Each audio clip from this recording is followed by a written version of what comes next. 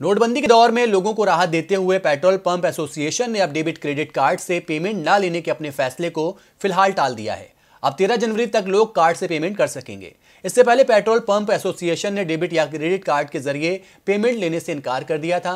Association ने यह निर्णय लेन देन पर बैंकों द्वारा एक प्रतिशत चार्ज लगाने की वजह से लिया था।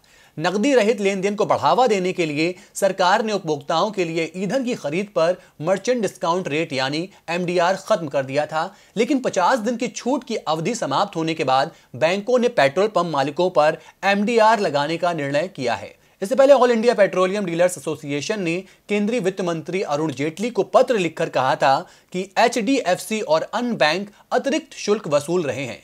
पेट्रोल पंपों को बैंकों से सूचना मिली थी कि 9 जनवरी 2017 से सभी क्रेडिट कार्ड से किए जाने वाले ट्रांजैक्शन पर एक फ़ीसदी और सभी डेबिट कार्ड से किए जाने वाले ट्रांजैक्शन पर शून्य दशमलव दो पाँच से एक फ़ीसदी तक का शुल्क वसूला जाएगा। साथ ही पत्र में शिकायत की गई है कि बैंक पेट्रोल पंपों का जमा पैसा भुगतान करने में भी विलंब कर रहे हैं। ऐसे में उन्हें काफ़ी परेशानियों का सामना करना पड़ रहा है।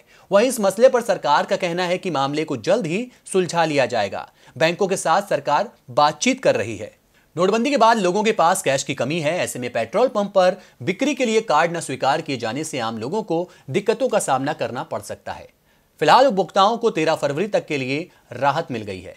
देखते रहिए डीबी लाइव।